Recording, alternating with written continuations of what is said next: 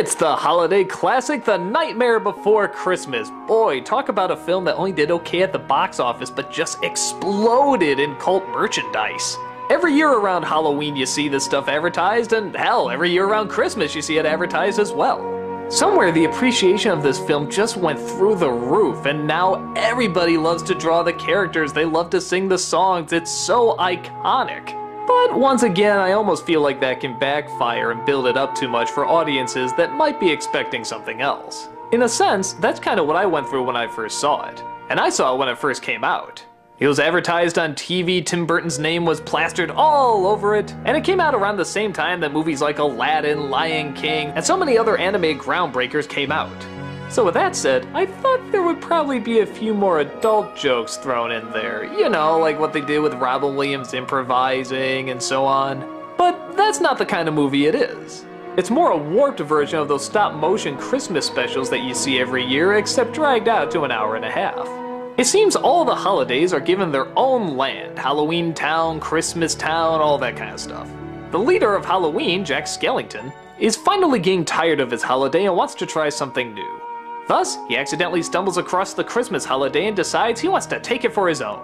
Showing the people of Halloween what he's discovered and even kidnapping Santa Claus himself, Jack decides he's gonna transform a Merry Christmas into a Scary Christmas. Instead of bringing treats and toys, he's gonna bring creeps and scares, ultimately resulting in a disastrous catastrophe.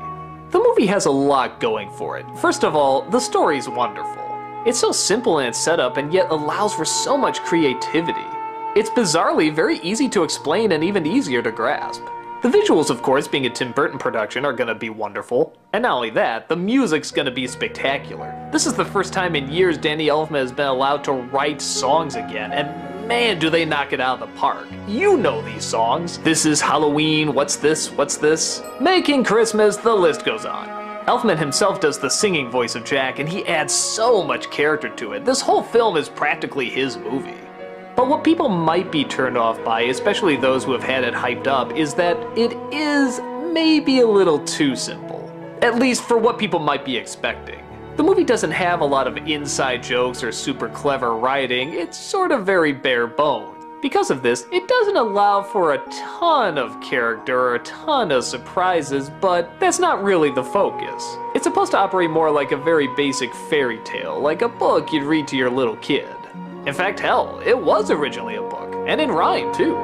Some might have a problem with this, and it's understandable. They could have updated it a little bit more, they could have made the characters a bit more interesting. But for a lot of people, the simplicity is what draws them to it. It's a timeless story that can be told to anyone, and anyone can grasp it very quickly. It's similar to something like The Boy Who Cried Wolf. You don't need to know the boy's backstory, you don't need to know his character, you just need to know the very simple layout. Now, is that good for an hour and a half movie? Some would debate no. Me personally, I think there's enough creativity with the songs, the atmospheres, the designs, and even the very basic characteristics that I think it works okay. I'd be lying if I said this was one of my absolute favorite Tim Burton films. I mean, it's good, and I really like it, and I can hear those songs over and over. But it's not something I really watch because the characters are so deep or the emotions are so rich. I'll watch something like Batman or Edward Scissorhands for that.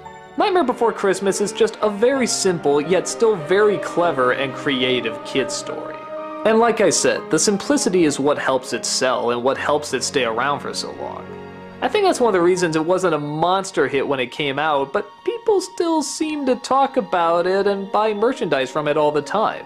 They appreciate the basicness of it, in the same way they appreciate the basicness of Santa Claus, and can immediately connect it to the holiday, or in this case, two holidays.